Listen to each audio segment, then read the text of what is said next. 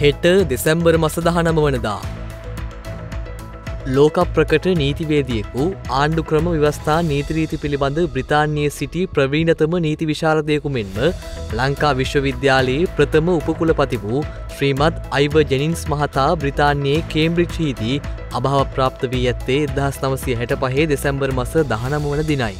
ලංකා ආණ්ඩුක්‍රම ව්‍යවස්ථාව පිළියල කිරීමේ මූලිකත්වය දැරුවතුමා පාකිස්ානය මෝල්ටාව සුඩානයාදී රටවල ආණ්ඩුක්‍රම ව්‍යවස්ථා සම්පාධනයේදී මූලිකත්වය ගෙන තිබෙනවා.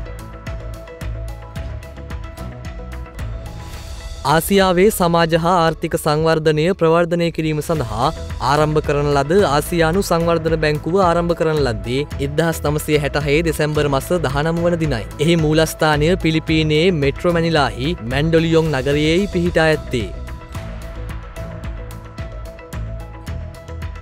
දකුණු කොරියාවේ පළමු කාන්තා ජනාධිපතිවරය ලෙස පාක් ගෙවුන් හයි තේරීපත්ව ඇත්තේ දෙදහස් තොළහේ දෙසැම්බර් මස දහනමුවන දිනයි. එහිදී ඇය කොරියානු චන්දදායකයින්ගෙන් සියයට පනස් එකයි දශම හයකගේ චන්ද ප්‍රතිඵලයක් ලබාගෙන ඇති අතර ඇය දකුණු කොරියාවේ එකොළොස් වන ජනාධිපති ලෙසයි තේරීපත්ව ඇත්තේ.